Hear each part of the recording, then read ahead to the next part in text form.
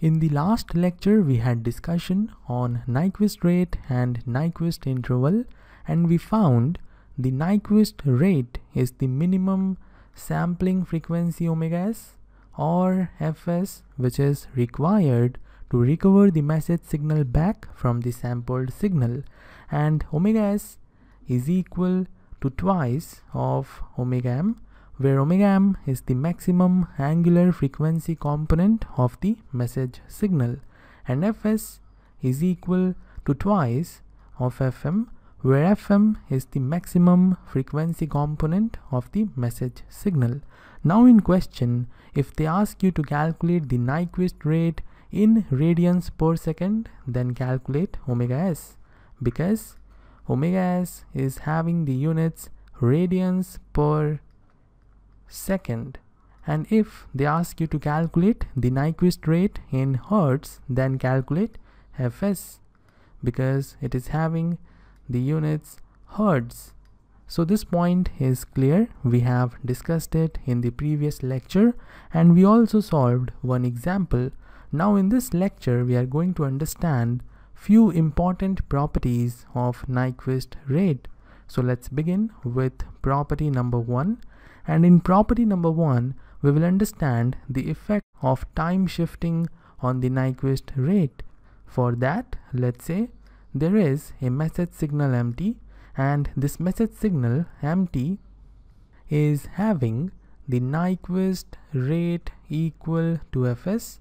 In place of fs you can write omega s as well. The property will not change. Property will remain same for both the frequencies. Mt is the message signal. It is a time domain signal. And if we perform the time shifting operation on mt we will have a time shifted signal. The first case which is mt plus t naught is the case of left shifting. We are shifting mt towards the left by t naught.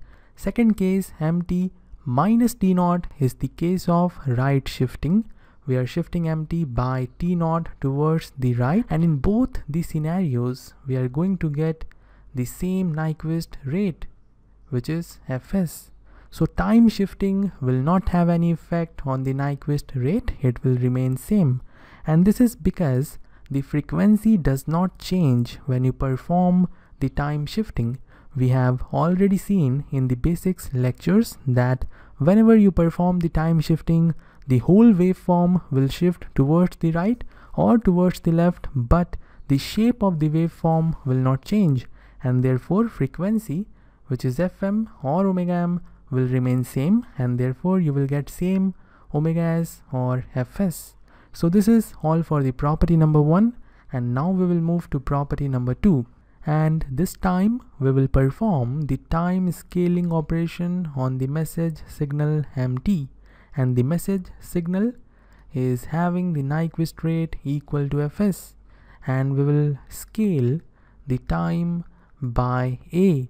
And in this scenario we are having a new message signal.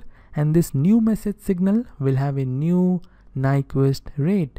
And the new Nyquist rate is equal to a multiplied to the old Nyquist rate.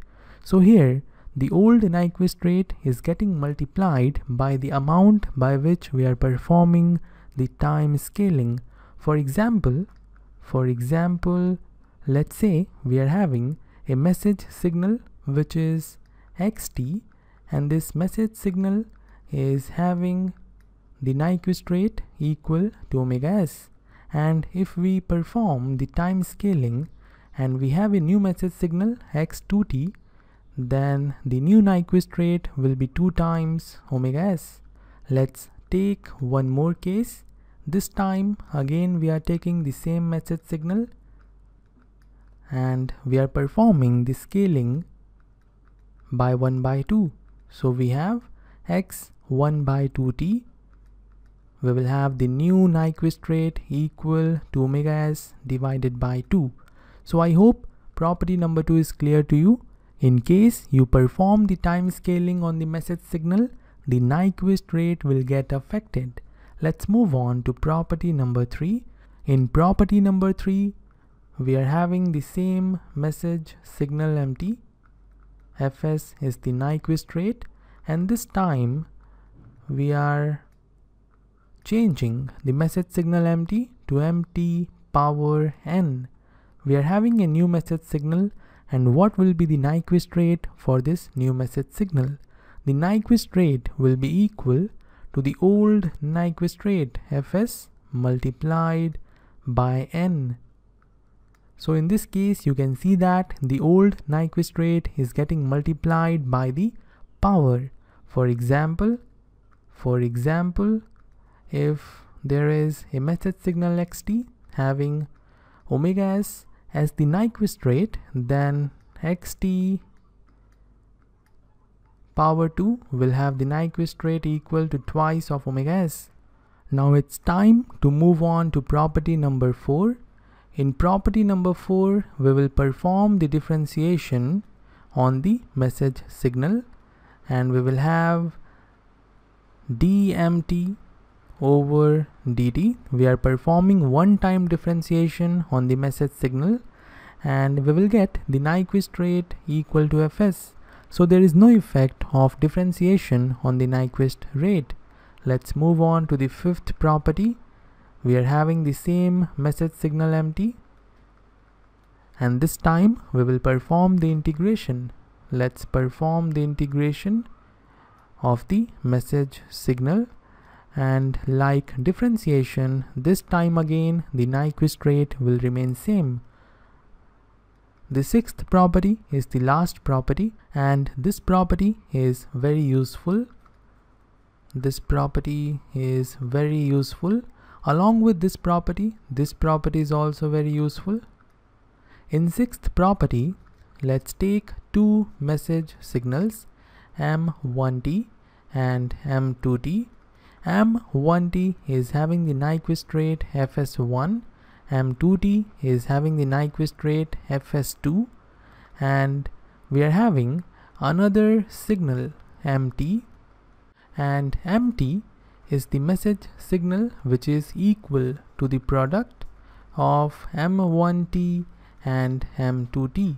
Now in this scenario, if you want to calculate the Nyquist rate of MT, let's call it Fs, then Fs will be equal to the Nyquist rate of M1T, which is Fs1, plus not multiplied, like we are multiplying the two message signals, the Nyquist rate of second message signal fs2. So fs will be equal to fs1 plus fs2 when the two message signals m1t and m2t are multiplied. This property is important and we will solve few questions using this property. So this is all for this lecture. If you have any doubt you may ask in the comment section. I will end this lecture here. See you in the next one.